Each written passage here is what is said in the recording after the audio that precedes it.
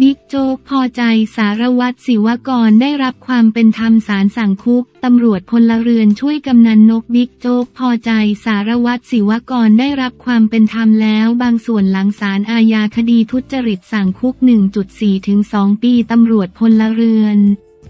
ช่วยเหลือตำรวจปฏิบัติหน้าที่มิชอบสนับสนุนเจ้าพนักงาน ช่วยเหลือหนองท่าผากำนันนกยิงสารวัตรศิวะตายยกฟ้องตำรวจหนึ่งคนวันที่ 9 เมษายน 67 ที่ศาลอาญาคดีทุจริตและประพฤติมิชอบกลาง ถนนเลียบทางรถไฟศาลอ่านคำพิพากษาคดีหมายเลขดำที่อทเศษ 206 ส่วน 2566 คดีหมายเลขแดงที่อท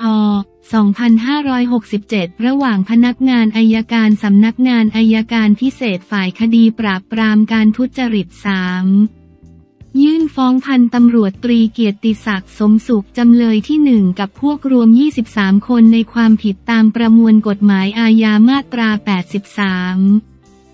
84 86 91 92 157 184 189 200 พระราชบัญญัติประกอบรัฐธรรมนูญว่าด้วยการป้องกันและปราบปรามการทุจริต พศ 2561 มาตรา 172 เป็นตำรวจ 16 นายในความผิดต่อตำแหน่งราชการหรือละเว้นการปฏิบัติหน้าที่โดยมิชอบ และพลเรือน 7 คน ในความผิดฐานสนับสนุนเจ้าพนักงานปฏิบัติหน้าที่โดยมิชอบ รวม 23 คน จากกรณีที่พันตำรวจตรีศิวกร สายบัว หรือสารวัตรศิวะ หรือสารวัตรแบงค์ถูกยิงเสียชีวิตภายในงานเลี้ยงที่บ้านกำนันนก เมื่อวันที่ 6 กันยายน 2566และมีการให้การช่วยเหลือผู้ก่อเหตุ โดยสารมีคำพิพากษาจำคุกจำเลยที่1-3 5 คนละ 2 ปีจำคุกจำเลยที่ 4 6 ถึง 13 15 ถึง 20 23 คนละ 1 ปี 4 เดือน จำคุกจำเลยที่ 21 จำคุก 1 ปี 9 เดือน 21 วัน จำคุกจำเลยที่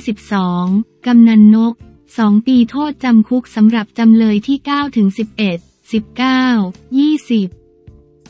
23 ให้รอการลงโทษ 2 ปี ยกฟ้องจำเลยที่ 14 ในส่วนคดีฆาตกรรมพันตำรวจตรีศิวกรสายบัว หรือสารวัตรศิวะ หรือสารวัตรแบงค์ทางอายการสำนักงานคดีอาญาได้ยื่นฟ้องกำนันนก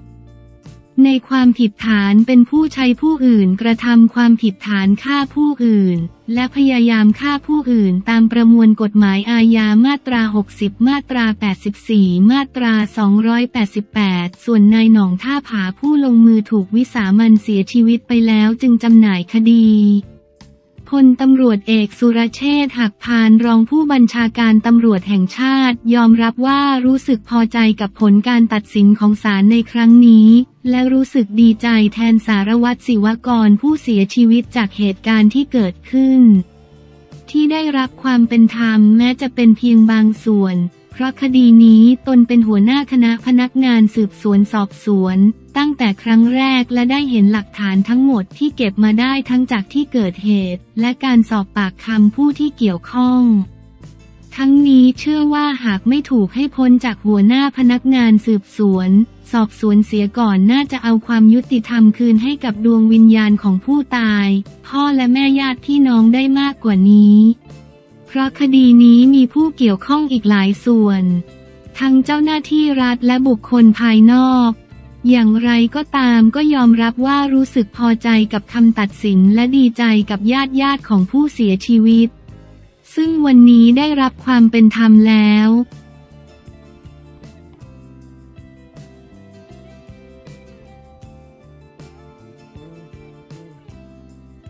สมาคมกอล์ฟได้อีก 14 สวิงไทย ลุยศึกเยาวชนโลกที่สหรัฐอเมริกา สมาคมกีฬากอล์ฟแห่งประเทศไทย ได้นักกอล์ฟเยาวชนไทยอีก 14 คน ผ่านการคัดตัวจากการแข่งขันรายการ TGA Singha Junior Golf Champion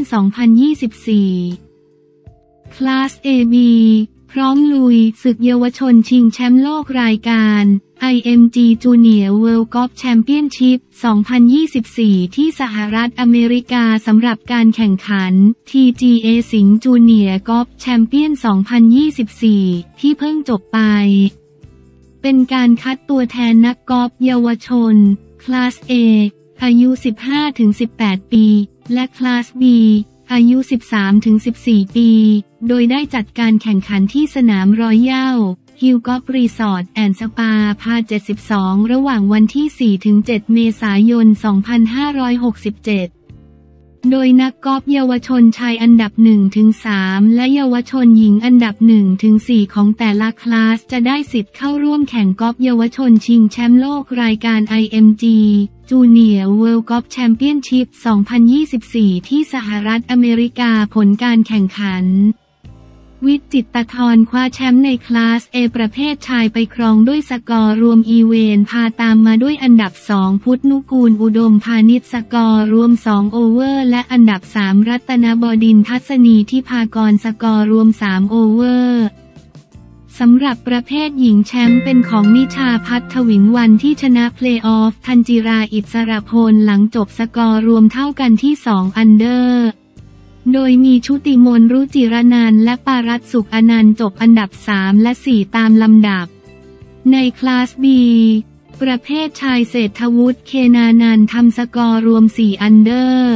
ขณะที่อจลวิทย์อนันตเศรษฐกูล สกอร์รวม 3 อันเดอร์ และพระนายเหรียญไกรได้อันดับ 3 สกอร์รวม 1 อันเดอร์ ส่วนประเภทหญิงวิรดา ทวินสังคว้าแชมป์รุ่นนี้ไปครองที่สกอร์รวม 4 อันเดอร์ตามมาด้วยอันดับ 2 วริศราสุขประดิษฐ์สกอร์รวม 3 อันเดอร์ โดยมีสุชานันบุญโรธเสรีและพิญญาพัฒกมลบวรได้อันดับ 3 และ 4 ตามลำดับ ทั้งนี้ มีนักกอล์ฟเยาวชนชายและหญิงจำนวน 14 คนจากคลาส A และคลาส B ผ่านการคัดตัวจากรายการ TGA สิงห์จูเนียร์กอล์ฟแชมเปี้ยน 2024 โดยก่อนหน้านี้ได้แล้วจำนวน 19 คนจากคลาส C คลาส D และคลาส E ทำให้มีนักกอล์ฟเยาวชนทั้งสิ้น 33 คนที่จะได้สิทธิ์เข้าร่วมแข่งกอล์ฟเยาวชนชิงแชมป์โลกรายการ IMG Junior World Golf Championship 2024 ที่สหรัฐอเมริการะหว่างวันที่ 6-11 กรกฎาคม 2567 สำหรับการแข่งขันรายการต่อไปของสมาคมกีฬากอล์ฟแห่งประเทศไทยจะมีขึ้นในศึก สิงห์ไทยแลนด์อเมเจอร์แมตช์เพลย์แชมเปี้ยนชิพ 2024 ณ สนามรอยัลฮิลกอล์ฟรีสอร์ทแอนด์สปา วันที่ 25-28 เมษายน 2567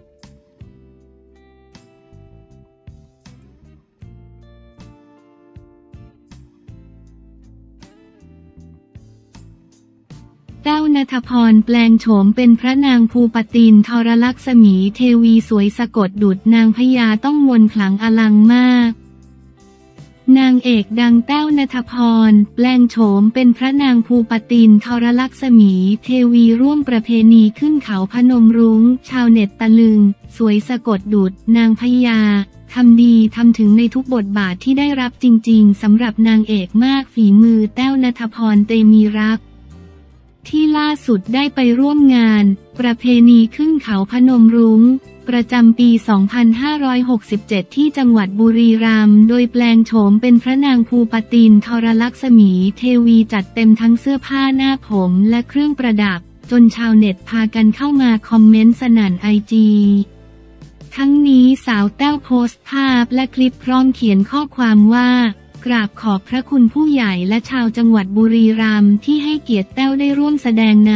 งานประเพณีขึ้นเขาพนมรุ้งประจำปี 2567 ครั้งนี้ด้วยการต้อนรับอย่างอบอุ่นที่สุด และขอขอบคุณทีมงานทุกฝ่ายทั้งนักแสดงร่วม ช่างภาพทุกท่านโดยเฉพาะพี่ๆน้องๆทีมงานผู้อยู่เบื้องหลังทุกท่านด้วยเช่นกันนะคะ ในขณะที่แฟนๆพากันกดไลค์รัวๆ ร้อมชื่นชมเป็นเสียงเดียวกันในความสวยสง่าของนางเอกสาว อาทิดีใจค่ะ ที่มาจังหวัดบุรีรัมย์เคยคิดอยู่ในใจว่าอยากให้คุณแต้วมาเขาพนมรุ้งบ้าง เพราะว่าหนูอยู่จอ บรีรัมย์ค่ะ ภูมิใจมากที่ในสุดก็มา น้องแต้วสุดทุกอย่างจริง ๆ สวยงดงามมากๆค่ะ เจ้าแม่สวยสง่ามีมนต์ขลังอลังมาก เป็นพระนางภูปตินทรลักษมีเทวีที่สวยมากค่ะ สวยนางพญามากค่ะ สวยของแท้เลยครับ ดูมีเสน่ห์และมีมนต์ขลังมาในชุดนี้น้องแต้ว เป็นต้น โพสต์ที่แชร์โดย TAWTAW แอดแทแววนาตาปอนขอบคุณที่มาไอจีแทแววขีดล่างนาตาปอน